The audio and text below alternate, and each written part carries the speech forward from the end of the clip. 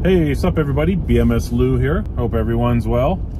Short video today for you guys. I'm finally getting around to doing the five likes of my new 2022 Subaru Outback Wilderness.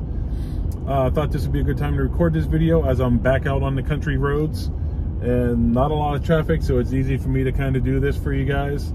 Uh, I've done a couple videos on this car already to date.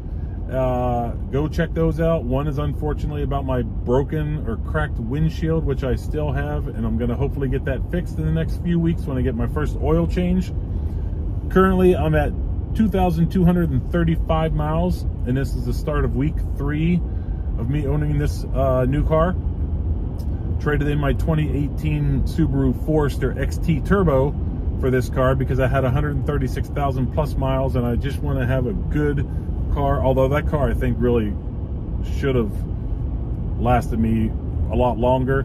It was just a good time in my life to trade that in, like financially, I guess, and get a new car. So that's what I had done. But I do feel like I probably could have pushed that car for, I mean, a, a, a bit longer for for certain. But anyway, not, off top off uh, off with that. We'll we'll go ahead and get on the top five lights that i found currently owning this new 2022 subaru outback wilderness edition. We'll start off the first thing that i really enjoy about this car are the seats. I, I really like the soft leather uh, that, that, they have on here. Um, they they they feel like they're hugging me better than uh, my subaru forester also before my Forester, I actually had a Subaru WRX, but I traded that in too because I had just kind of started doing what I'm doing. And because I'm in the car a lot, I wanted more room. And so I do, when I first sat in this car, I was like, wow, the seats feel like they're really hugging me and I feel real secure in them. And I still feel, I mean, I definitely still feel like that. Uh, maybe it's because I've gained a little weight. I don't know. I'm just joking. But the Forester, the passenger seat was great. I'm sorry, the driver's seat was great in the Forester. The passenger seat, I think, had a few issues. It wasn't the most comfortable because I sat in that a few times. And then there was also this seatbelt notification that seemed very sensitive in that car. If I put a bag of groceries or something on it, just a light bag of groceries.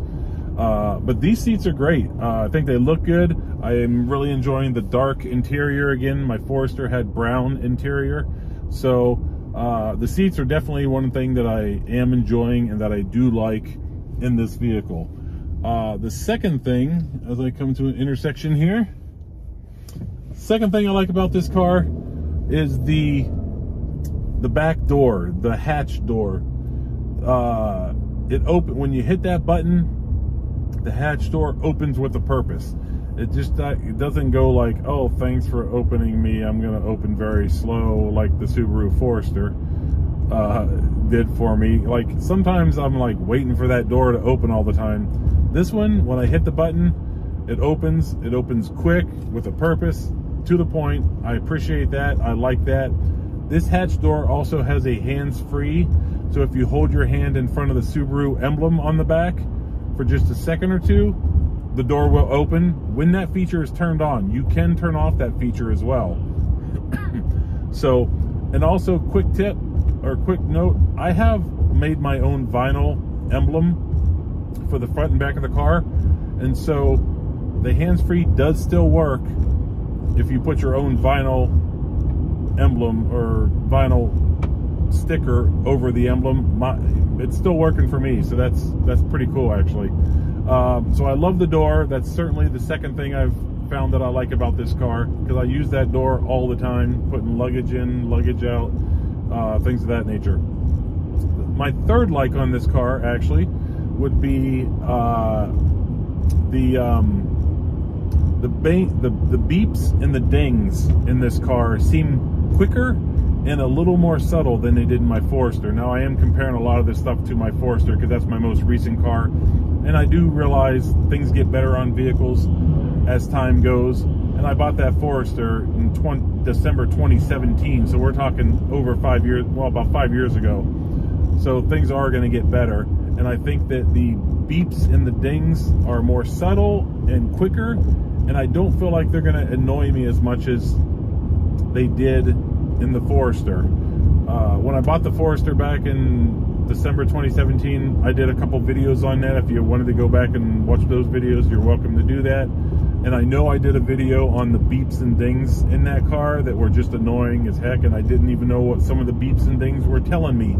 And I never figured it out, but I do feel like they got better, but they still were annoying. So the beeps and dings were uh, certainly in this car seem a little bit more subtle and quick to the point, and I appreciate that. So I do like that.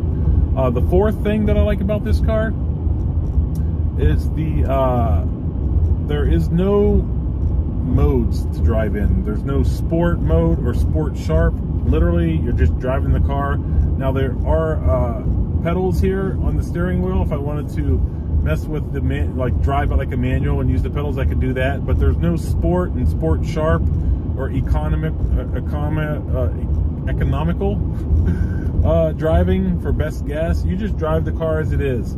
Uh, if I want to pass somebody on the highway or if I'm merging on the interstate, I just hit the pedal and I go, and that's really nice. Not that it bothered me in the Forester that I had to hit the button to go to sport or sport sharp. That was fun too. I just don't have to worry about it in this car, and I like that. So that's my fourth like. I just drive the car as it is, and don't worry about dropping into a sport mode or anything like that. The fifth and final thing that I really like about this car is the uh, this is the first car that I've ever had remote start. So I will have I have remote start in this vehicle. Now I have it free for three years, and after that, apparently it's going to go to a monthly cost through the Subaru app, and I will use the Subaru app to control that, and I can also use the Subaru app to control some of the heater and air conditioner uh, settings as well. So this is my first car ever with remote start. I'm probably never going to use it in the summertime. In the fall or in the winter, because we do have all seasons here, I could see myself definitely using it, and I probably will use it, especially when I'm out here for work.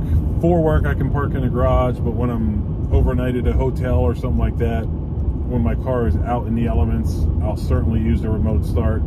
I kind of really wish, to be honest, I could have just paid $500 on top of the price of the car and owned the remote start.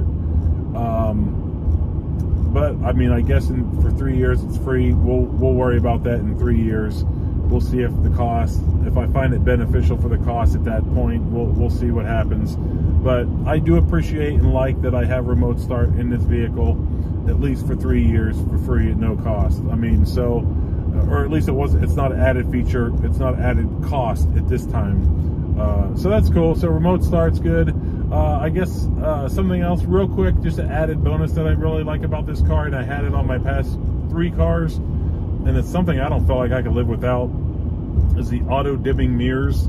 Uh, love those. I think that's a feature that everybody should have because when you got big old trucks with LED lights behind you these things are amazing at night. Uh, if you've never had an auto dimming rear view mirror, you gotta get one. It's something that I can like not live without anymore.